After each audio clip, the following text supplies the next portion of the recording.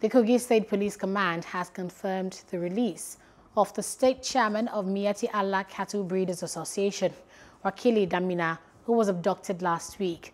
The State Police Commissioner Ayuba Ede made the confirmation to journalists. The State Sec Secretary of the association, Adamu Abubakar, told newsmen in Lokoja that Damina was released in Abuja late Saturday night Adamu said from Damina's account, he was released by men suspected to be from one of the security agencies and not kidnappers as earlier suspected. He said that Damina arrived at his Chikara home in the Kogi local government area of the state in the early hours of Saturday to reunite with his family. Hello, hope you enjoyed the news. Please do subscribe to our YouTube channel and don't forget to hit the notification button so you get notified about fresh news updates.